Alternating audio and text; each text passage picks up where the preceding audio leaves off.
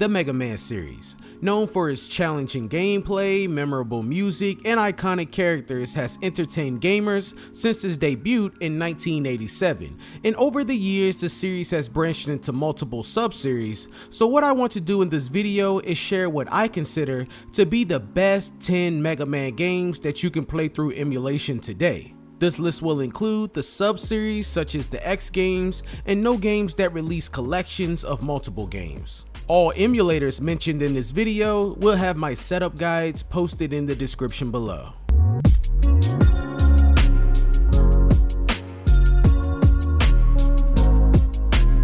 Starting the list off is Mega Man 3 released in 1990 for the NES. This game built on the success of Mega Man 2 which in my opinion was a funner game. 3 added new gameplay elements like the slide ability and introduced the character Rush, Mega Man's robotic dog companion. The game's narrative expanded with the introduction of Proto Man, who is a prototype of Mega Man and his older brother.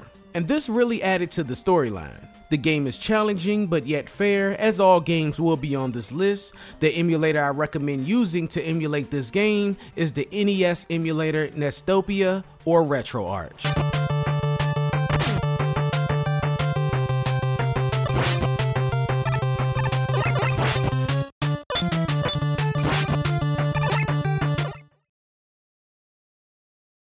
Next is Mega Man 8, released in 1996 for the PlayStation and Sega Saturn. Mega Man 8 brought the series into the 32-bit era with colorful graphics, full motion video cutscenes, and voice acting. The game introduced new gameplay mechanics such as the ability to swim and a variety of new weapons. It also featured the returning duo of Mega Man and Bass. The nice visuals, diverse stages, and soundtrack made it a standout to the series at the time. The emulator that I recommend using to emulate this game is the PlayStation emulator DuckStation.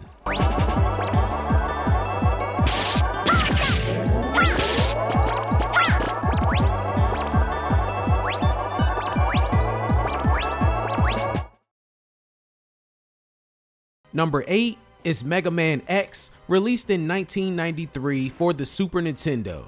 X revolutionized the series with its transition to the Super Nintendo, or SNES, whatever you prefer to call it. It introduced a more mature narrative, new gameplay mechanics like wall dashing, and Mega Man was able to move more quickly and easily. The inclusion of upgradable armor parts and the hunt for hidden items added depth to the gameplay. Mega Man X blend of action, exploration, and decent storytelling made it an instant classic. I recommend using the SNES emulator SNES 9X or RetroArch.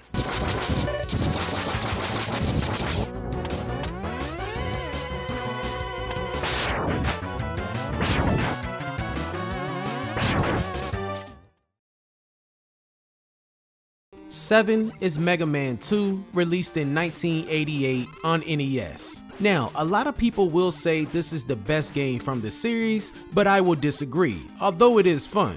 Being the second game in the series, it did refine the formula established by its predecessor. With 8 new robot masters, each boosting unique stages and weapons, the game introduces an engaging balance of challenge and reward. And if you are a die-hard Mega Man fan, you will remember the iconic Dr. Wily's Castle theme soundtrack. Also, the introduction of the energy tank item made Mega Man 2 a definitive experience that set a high standard for the series going forward. I recommend using the NES emulator Nestopia or RetroArch.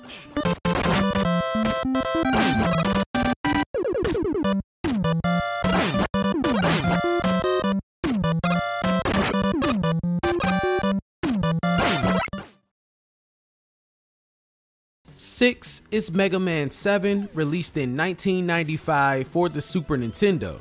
7 was the series debut on the SNES, bringing 16-bit graphics and sound to the classic formula. The game features some nice visuals, an engaging story, and the introduction of the character Bass. With new mechanics like the super adapter and the ability to purchase items, its balanced difficulty and polished gameplay made it a memorable entry. You can emulate this game using SNES, 9X, or RetroArch.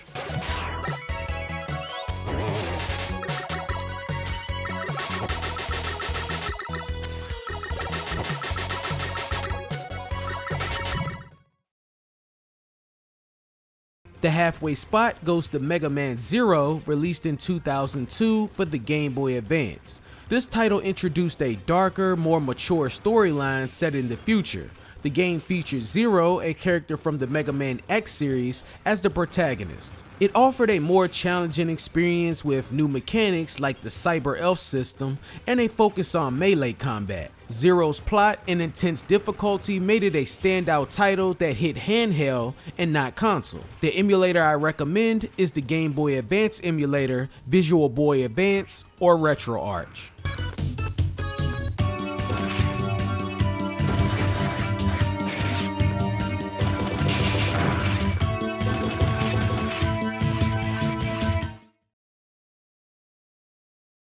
4 goes to Mega Man X5, released in 2000 for the PS1. X5 continued the X series with a strong narrative focus and multiple possible endings. The game introduced a new mission system where players had a limited amount of time to stop a space colony from colliding with Earth. It also featured more emphasis on story with character driven cutscenes and dialogue. It allowed players to choose between X and Zero, each with different abilities, and offered new armor upgrades and weapons. The emulator you want to use to play this is the PlayStation 1 emulator, DuckStation.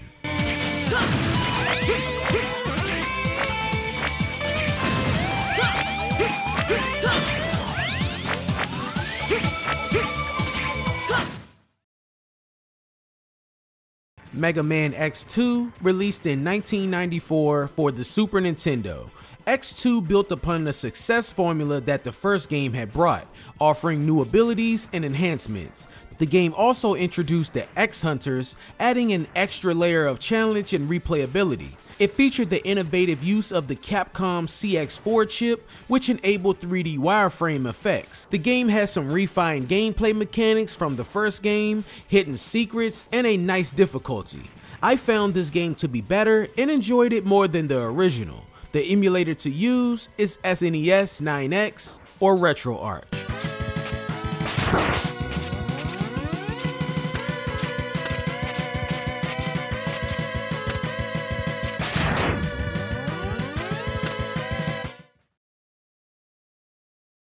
The runner-up is Mega Man 11, released in 2018 for the Nintendo Switch, PC, PS4, and Xbox. As of the recording of this video, this is the newest Mega Man game. 11 marked the series' return with a modern twist. The game introduced the double gear system allowing players to slow down time or power up attacks, adding a new layer of strategy to the classic formula.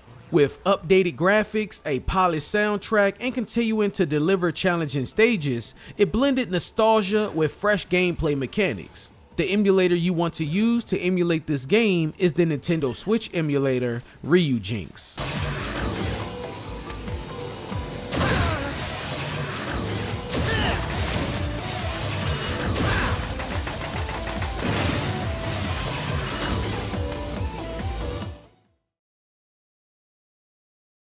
My number one pick is Mega Man X4, released in 1997 for the PlayStation and Sega Saturn.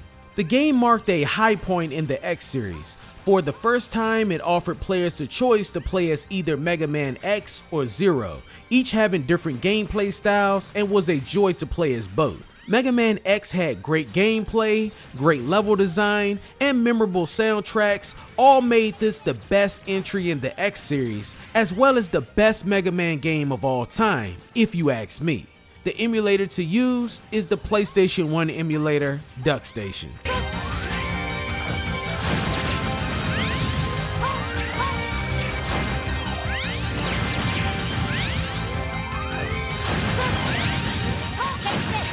So let me know in the comments what are your favorite Mega Man games and again all of my emulator setup guides are in the description below. Thanks for watching.